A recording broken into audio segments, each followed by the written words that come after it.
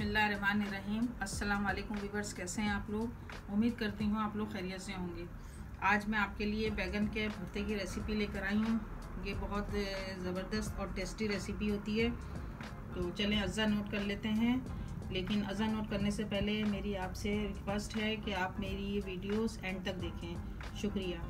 तो चलें, आएँ अज़ा नोट करते हैं। बैगन के भरते में क्या क्या जाएगा? देखिए ये मैंने बैगन लिए हैं। इसको मैंने, मैं चूल्हे पे मुझे इसको थोड़ा सा जलाना है, पकाना है। तो वो मैं आपको दिखाऊँगी। अच्छा इसमें जो ग्रेवी में मसाले जाएँगे, वो मैं आपको दिखाती हूँ।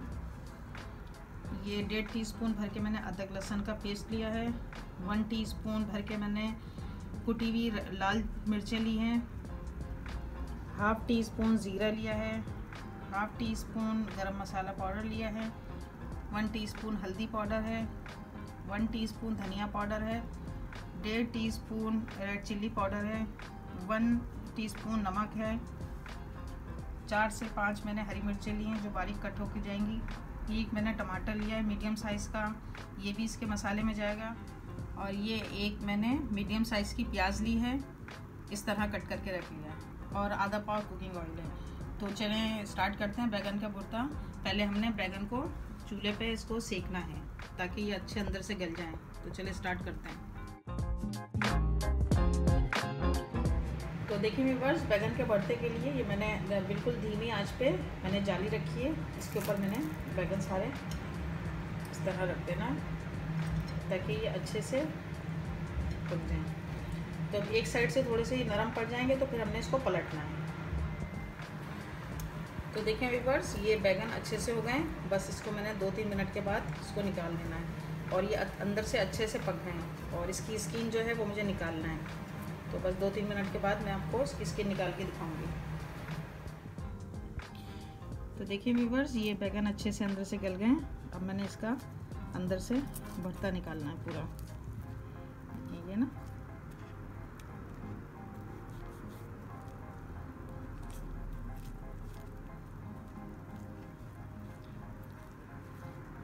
इस तरह सारा मैंने बुरता ताकि इसकी बस स्किन जो जली हुई वो ना आए और ये अंदर से जो सॉफ्ट सॉफ्ट हो गया, ये निकल जाएगा।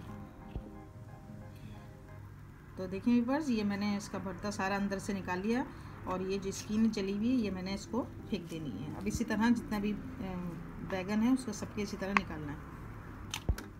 तो देखिए फ्रेंड, अब इसको मैंने इस तरह अच्छे से छुरी से ही मैश करना है इसको। तो देखिए फ्रेंड ये एक साइड से हो गया अच्छा सा। अब इसको मैंने दूसरे साइड से इस तरह बारीक मैच करना है। तो देखिए वीवर्स मैंने ऑयल गरम कर लिया बैगन के भरते के लिए। पहले हमें ज़ीरा डालना है इसमें। फिर साथ ही हमने ये प्याज ऐड करनी है।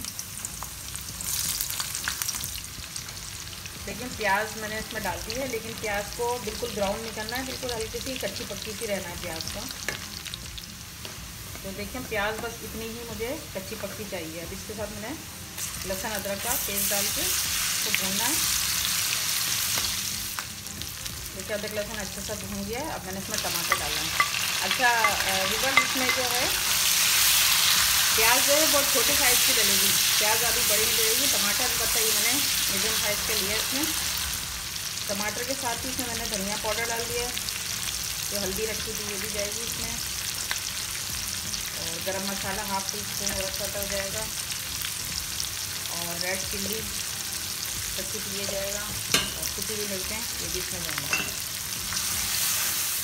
साथ ही नमक भी जाएगा।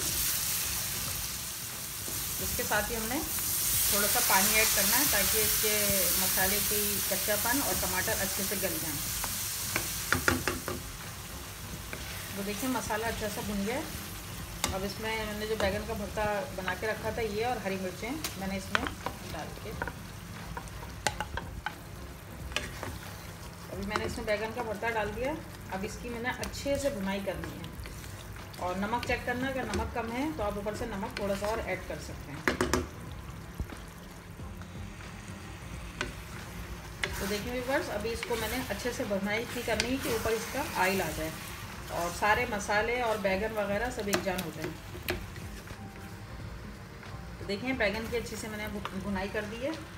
अब ऊपर से मैंने हरा धनिया गार्निश के लिए थोड़ा सा डाल दिया है। तो बस अब मैं आपको डिश आउट करके दिखाती हूँ। तो देखें वीवर्स ये बैगन का भुट्टा रेडी है। आप इसको बनाएँ मेरी स्टाइल से ही चपाती सलाद के साथ आप इसको खाएँ। तो बहुत लजीज और टेस्ट, टेस्टी रेसिपी है ये। अगर आपको मेरे ये बैगन के भुट्टे की रेसिपी पसंद आए तो प्लीज़ मेरे चैनल को लाइक कीजिए सब्सक्राइब कीजिए। और अपने जितने भी रिश्तेदार, अज़ीज़ और अकारिब के साथ शेयर कीजिए। अस्सलाम वालेकुम।